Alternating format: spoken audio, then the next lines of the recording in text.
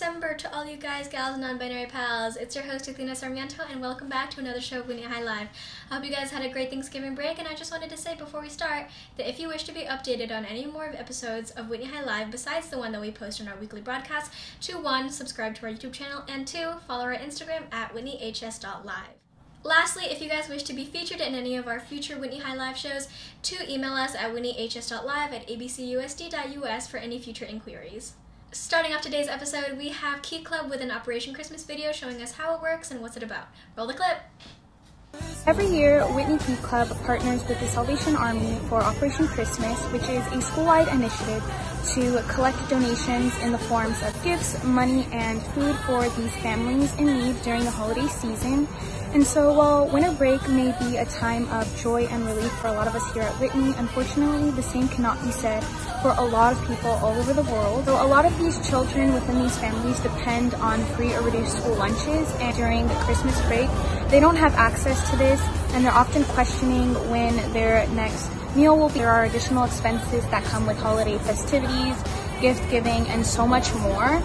Not to mention that right now during the global pandemic, a lot of people have lost their jobs or have had a reduction in the amount of hours that they work, where one or more are disabled. And so this is where it's really our job to step in and help in any way that we can.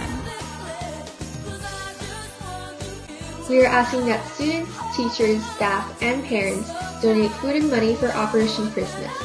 Multiple clubs throughout the school will be holding activities and completing dares to help fundraise for the event.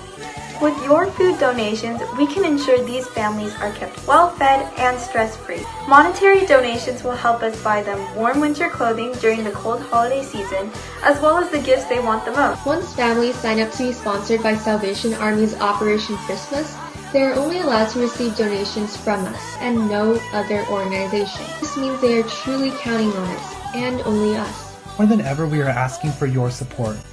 Please help us spread the holiday cheer and relieve some of the stress these families may be facing, especially during the pandemic. Every donation counts. If you have any questions about Operation Christmas, feel free to contact Ayan Ekram through whitneykc.vicepresident at gmail.com.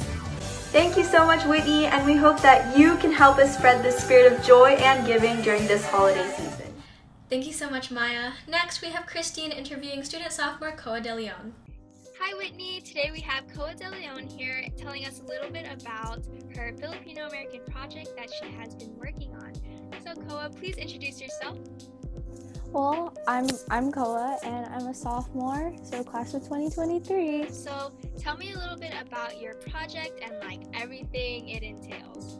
Well, Filipino Filipino Americans Rising is a series of five virtual workshops for high school students where we take Filipino American community leaders and we bring them to speak about speak to us about different aspects of Filipino American history in conjunction with leadership skills. So, what topics did you guys discuss in your workshops? Well, I guess we we decided to go in chronological order. So we started with the pre-colonial Philippines and the Spanish colonization, and that and then for the leadership aspect, we kind of just made an introduction to leadership. And then the next workshop, we went we went into U.S. occupation and the first wave of immigration, and that really ties into the race equity focus of colorism. And so then the leadership skill we would learn would we learned was confidence building. So far, we've had three workshops, three out of five, and we've had a pretty 15 to 30 people per work, 15 to 30 high school students. It's people from California, so we've got like Los Angeles, Long Beach, Arcadia, and sometimes even San Francisco. And then we have people, our Filipino American buddies, all the way on the East Coast. So we have people from Maryland, Virginia, and it's just really fun to connect with all the people from across the nation. What is the importance about learning Filipino American topics? Well, that just goes to goes back to the saying where no history, no self. It's where you kind of have to in order to know where you're going, you have to really know where you've been. And since Filipino American history isn't really taught in our K through 12 educations, it I think Filipino Americans Rising just gives us a chance to give us that sense of identity because we don't really know what like we don't really I guess we're not really in touch with our Filipino American history and I just think that it just gives it's important to know that part about yourself, especially when you're a Filipino American. So, when is your guys' last workshops and how can people join them? So, the second to last workshop would be on November 21st. They're all at the same time, so 4:30 p.m. Pacific time. And then the last workshop would be on December 5th, at, again at 4:30. And in order to get more information, you just have to email me at codeleon at gmail.com and I'll just send you the registration link and you can say hi. Pop in and say hi. Awesome. Thank you, Koa, and we hope to see you guys all there. Bye. Last but definitely not the least, we have Krystal following a winter painting tutorial perfect for this season from the one and only Bob Ross. Check it out. Hi, and welcome to this segment of Whitney Live. Today I'll be trying my very best to create one, recreate one of Bob Ross's classic paintings called Winter's Grace in honor of December. And well, some disclaimers. I am using slightly different colors and I, and I am using smaller brushes because my canvas will be much more smaller than his. And as you can tell, I'm outside because Last time I painted, I spilled some paint on the rug. But let's get started.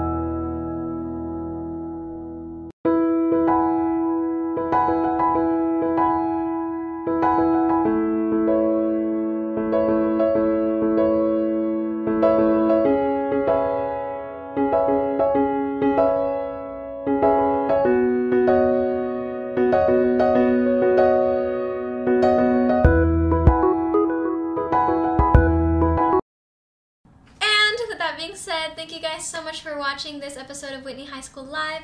Three more breaks until winter break. We got this, you guys. Um, in the meantime, stay happy and healthy, and we'll see you guys later. Bye!